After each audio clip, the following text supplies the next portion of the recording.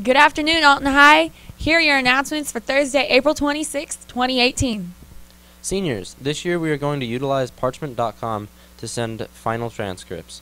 Feel free to go onto the website if you ever never have done so before. Transcripts can be sent electronically and get to your college or university faster. More information will be given out at cap and gown pickup. Any questions, please see Miss Moore in guidance. Seniors will turn in their Chromebooks in the library from 11:15 to 3:30 p.m. on May 4th. You may also turn them in on May 8th or 9th from 7:30 to 8:45. Seniors that do not return their Chromebooks will have a monetary amount added to their fee statements and that must be paid prior to graduation.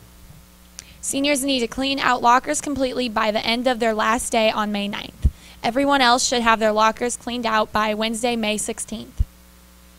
Any items remaining in the locker after the designated dates will be discarded. Students who leave books in their lockers will be assessed a $5 per book. Seniors are responsible for returning their books to Ms. Vogel on or before their last day of school, which is the May 9th.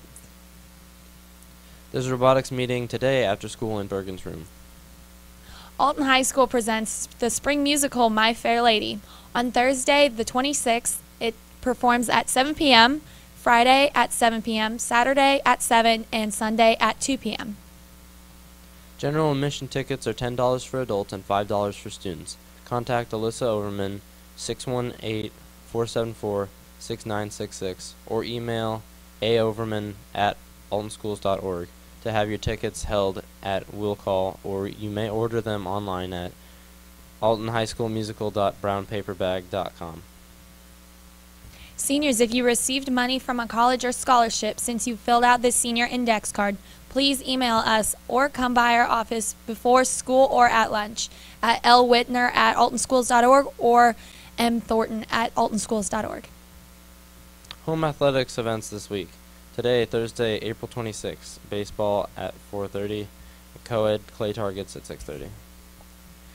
At Saturday, the 28th, baseball is at 12 and softball is at 10. Thanks for watching and check us out on Twitter at the Daily Bird. Bye.